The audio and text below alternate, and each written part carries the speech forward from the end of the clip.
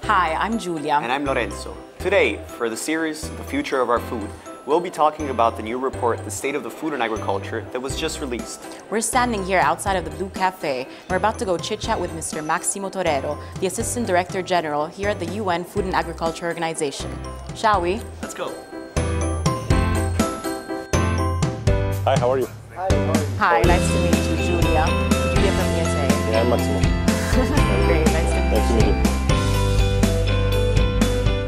So, the 2019 report on the state of food and agriculture was just released today. Can you tell us a bit more why this report is important? So, look, the topic that the report touches is food loss and, and waste. And as we all know, it's a very important topic for FAO, for the world. Uh, why? Because we are living in a period of a lot of hunger, uh, malnutrition, and it doesn't make too much sense that we have big numbers in food losses uh, and waste. Uh, and in 2011, FAO issued a report saying that one third of the food was lost or wasted. Uh, and uh, there was a report to raise the issue and raise the importance of the issue. And what we are doing now and what we are launching uh, today is basically indicating that now it's time to have a clear definition of what we are measuring, have a clear indicator which is linked to the SDG indicators, so that we can track exactly what is going on and if all the new ideas and in, in initiatives that are happening really make sense. What do you think are the top three things, the most important things that, that, are, that are worth highlighting? So the first thing is that the report brings a number, which is the baseline number, and we are saying that 14% is the size of the losses.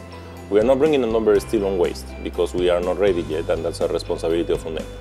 Can I But with- interrupt Yes, real quick? please. In terms of um, the economic cost, you said 14%. What does that equate to? 400 billion dollars. Oh, That's more or less the idea uh, of what it will imply. Okay. So it's the GDP of a not so small country, basically what we are losing a year in terms of, of food, which is a pretty important number. Yeah.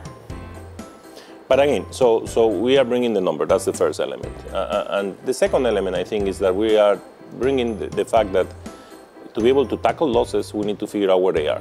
And normally, the 211 report brings just the global number. We are not doing that this time.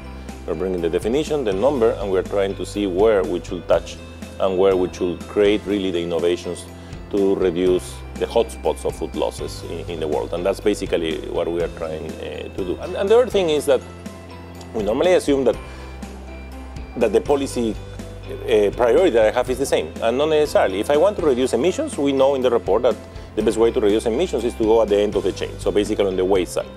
Because that commodity already have gone through all this process of the value chain and has accumulated all these potential emissions. So if we are more efficient there, then in the future we'll be reducing emissions. But if I want to create more availability of food, I want to take care more of my land and my water, then the best is to tackle the problem at the losses part, which is where FAO has a huge expertise to do.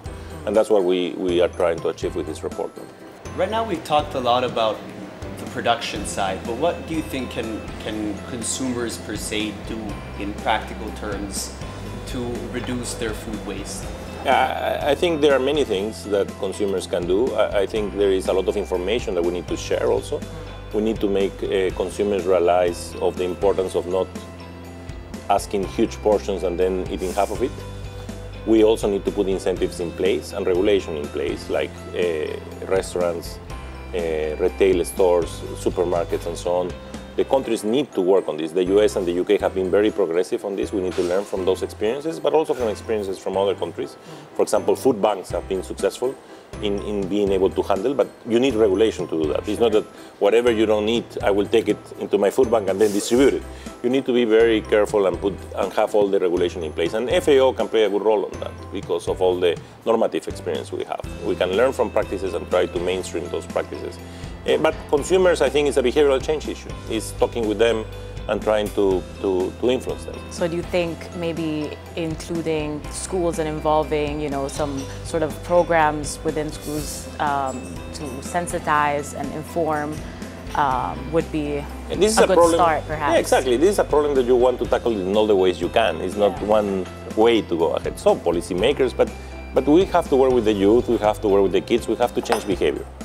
Uh, and at least in my experience, in my own personal life, my behavior is changed by my kid, no, not by any adult, but normally my kids will influence my behavior a lot. So we believe that that could be a way to accelerate and it could be a way to, to do it, but also fighting in all possible ways. Uh, and information sharing and having a tracking mechanism and having a good indicator with a clear definition, I, I think it's central. No? I want to end this uh, sort of Q&A that we are having with you, since we've touched on, on, a lot of dimensions on food waste and food loss. More broadly speaking, uh, what else would you like the audience to know about the state of food and agriculture in today, and um, especially as how we think of the future of our food?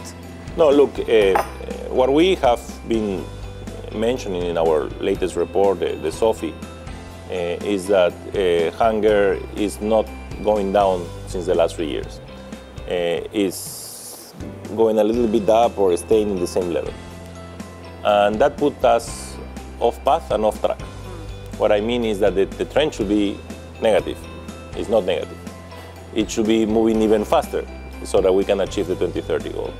So unless we start doing things to change that, uh, we are not, not going to achieve the goal. And forget about the goal, we are not going to reduce hunger in the world, which is what we are aiming to. So, so I think losses and reduction of waste to, is a way to contribute to that. Uh, but we need to be careful, uh, and we need to do it properly, and we need to have transparent information, and we need to bring accountability. Uh, there are too many things happening in the world, too many initiatives, but we need better accountability. And it's not accountability of FAO, it's accountability of all the players and how things are working to assure that we are going to achieve what we call the put the indicator on path and on track. Uh, I think that's the most important thing. Excellent. Thank you so much. Thank you. No, a pleasure. It's a pleasure. Pleasure talking to you. Pleasure.